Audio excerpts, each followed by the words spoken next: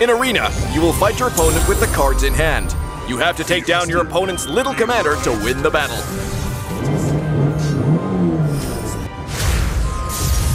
There are three types of cards. Hero, Monster, and Spell. Use shards to summon monsters and use spells along the way to counter your opponent's moves. And by spending shards, essence will be generated.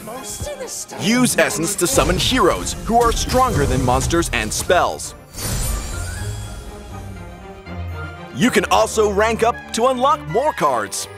Use summoning orbs to draw cards unlocked in your current rank.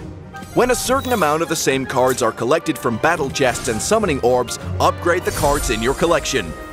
Upgrades grant more power to the cards.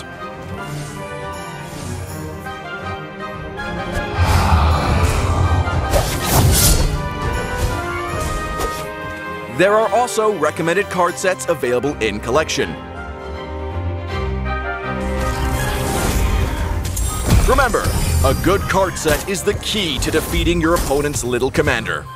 Join us in Arena now to get Benny, the popular little commander who will fight alongside you in Magic Chess as well.